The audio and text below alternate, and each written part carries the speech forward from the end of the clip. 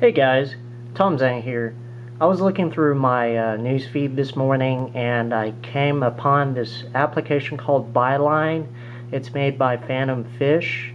Um, it's a basic RSS program that will read your Google News, uh, basically anything you have RSS feed for.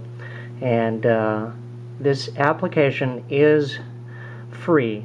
Um, there is well, actually, it's kind of tricky to be honest with you, but there is a free version, um, both for the iPhone and for the iPad.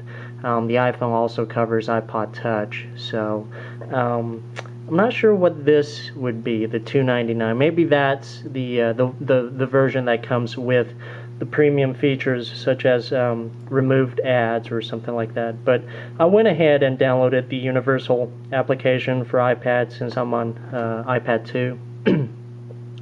and um, yeah, it does say here um, 2.99 and 5.99.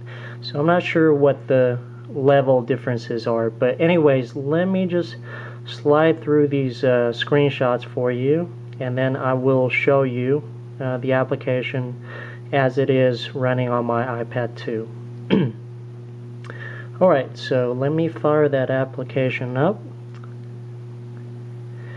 And so if it's your first time running, it'll have um, a login screen for your Gmail account and uh, basically it's asking you for your Gmail uh, or any of your Google um, login credentials so they can uh, get the um, news from. Uh, I think the way this works is basically it runs, um, uh, it loads off RSS feeds from your Google News.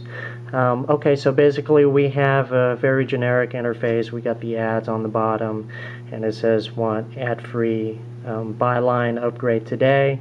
Um, okay, so um, in my Google News, I have all the items. I can view all the items or sort them out by my folders, which I subscribe to, Apple, China, and international news. Um, so let's see what's happening with Apple. Okay, so here, let's say I just press the WWDC 2011. Um, okay, so I can have the option of writing a note. And here's what um, may be a little bit lacking for this application and I will show you why. Um, so let's say I type some random note and when I press share it doesn't tell me um, it does not tell me where it's sharing to you know uh, is it shared to my Twitter my Google or my Facebook um, but I did find out and here is where it is. It's actually in the notes section here. That's where my notes went to. Um, maybe it's because I don't have my Twitter logged in or whatever but um, and you can always favorite it. Um, you can open a Safari copy link sent by email.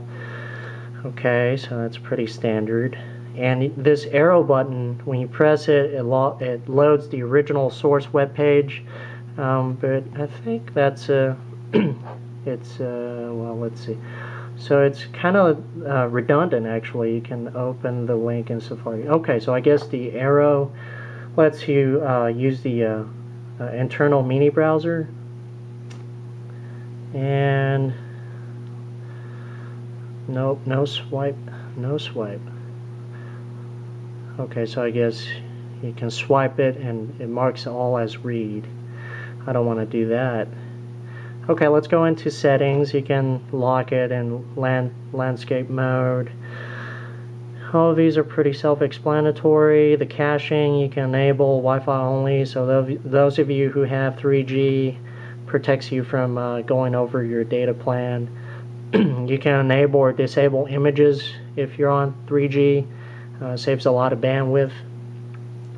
And uh, okay so this is where the accounts are. And uh, it's missing something. It's missing Facebook. So I'm not sure. And um, hopefully they'll maybe add on. Or maybe Facebook is only in the upgrade.